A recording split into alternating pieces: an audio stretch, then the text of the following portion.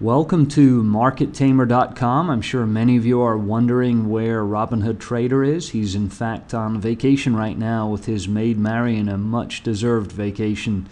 Uh, so, what we'll do today is take a look at a few charts. The first one we'll uh, pay particular attention to is that of the US dollar index.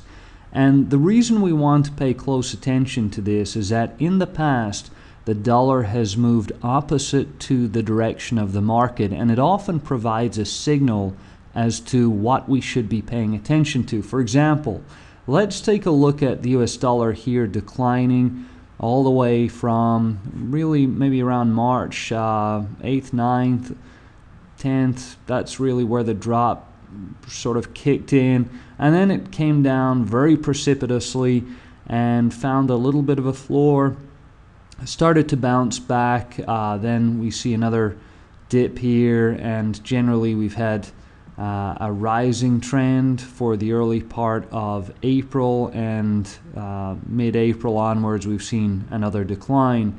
So let's, let's just parse this out in greater detail. We'll note here mid March all the way down, then we see maybe third week of March, we see a bounce back then we see correction, and we see rise up, dip down, rise up, dip down. Now, if we move to the market itself, what we should expect to see is the opposite behavior.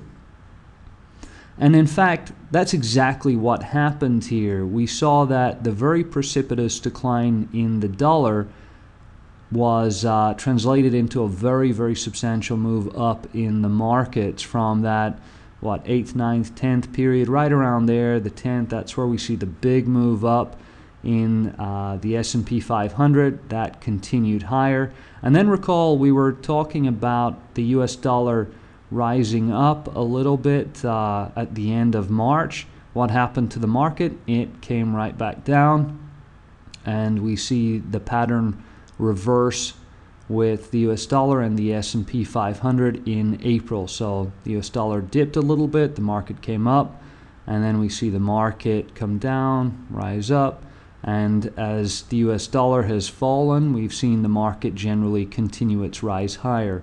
So why is this significant? Well, it tells us that this rally is uh, one to be quite concerned with. Why is that? Well, if we saw the market over the past decade or so the move up in the market from the 2002 to 2007 ish period was all accompanied by a very substantial dollar decline.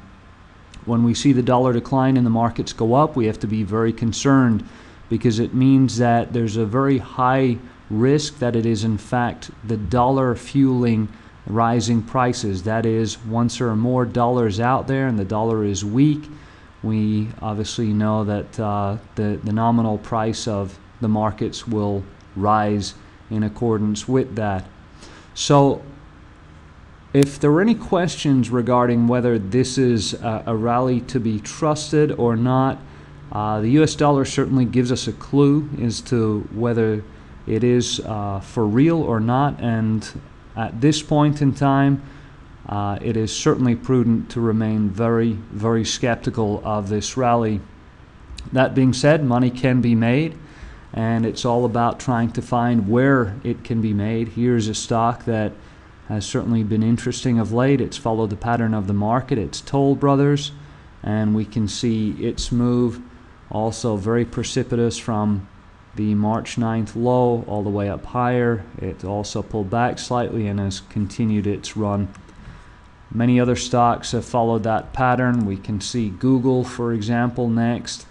It followed the pattern of a, a very uh, sharp V all the way down to March and then a, a, pop back up. In fact, we don't see tremendous uh, concern here for the uh, for an imminent correction. But that being said, we've been in this bull run for quite a while. We might expect it to continue for another month or so. But uh, as we go further in this run, we should be more concerned. And so at this point, it's time to be very cautious, not too aggressive, and uh, we'll look out for more opportunities in the near future.